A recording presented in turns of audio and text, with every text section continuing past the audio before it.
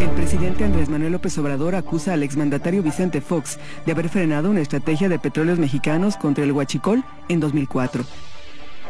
Anticipa que el lunes dará a conocer detalles sobre cómo el gobierno de Fox impidió que Pemex continuara con un plan para diferenciar el combustible legal del robado. De acuerdo con el mandatario, Fox Quesada eliminó un artículo transitorio del presupuesto 2004, el cual permitió el tráfico de gasolina robada. Sí, hay este, muchas irregularidades en todo lo que tiene que ver con el robo de combustible. Vámonos por parte, les vamos a dar a conocer todo. El lunes les vamos a dar a conocer eh, de cómo utilizaban ductos eh, para almacenar gasolina robada.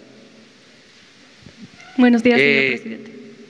Y les vamos a dar a conocer algo que les adelanto para que ayuden también en la eh, investigación. En el 2004, porque esto viene de tiempo atrás. Hay quienes piensan que fue en el sexenio pasado. No, esto viene de tiempo atrás. Eh, en el presupuesto del 2004 se aprobó un artículo transitorio para que se adquiriera una sustancia y se marcara la gasolina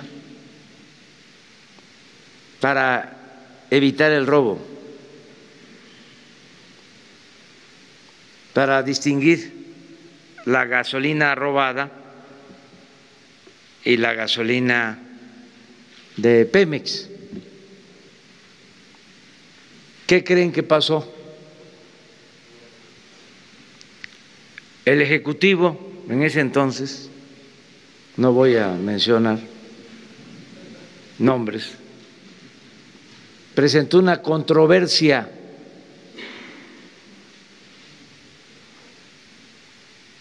Para quitar ese artículo transitorio.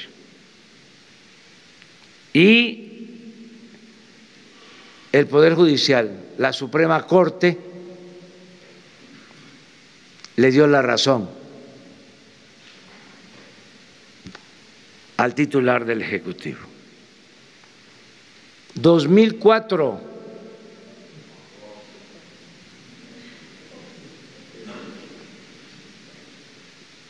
Entonces, todo esto se tiene que conocer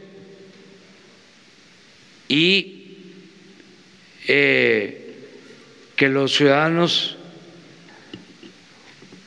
tengan todos los elementos, independientemente de si existen eh, delitos de omisión, independientemente de eso, que nos enteremos, porque parece como si esto eh, hubiese surgido de la noche a la mañana y también de manera respetuosa, fraterna, cariñosa. Le pido a los que se dedicaron a defender al régimen corrupto, sobre todo a la política económica neoliberal, que es el tiempo de la autocrítica ya no seguir en la autocomplacencia. Es tiempo de rectificar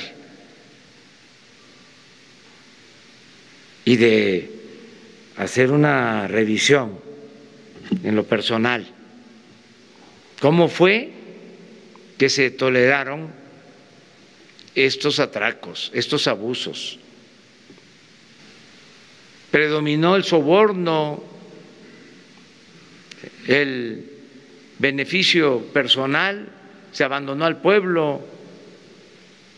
Es que nuestro país es muy fuerte, tiene muchas riquezas naturales y un pueblo bueno, trabajador, honesto. Por eso se han resistido pues eh, todas las calamidades y saben también que nos ha ayudado mucho nuestra cultura. La cultura ha sido nuestra salvadora. Es lo que nos ha sacado adelante. Por eso hemos enfrentado epidemias, inundaciones, terremotos, malos gobiernos, todo, y salimos adelante. Y yo espero que ahora salgamos adelante, de nuevo, con la participación de todas y de todos.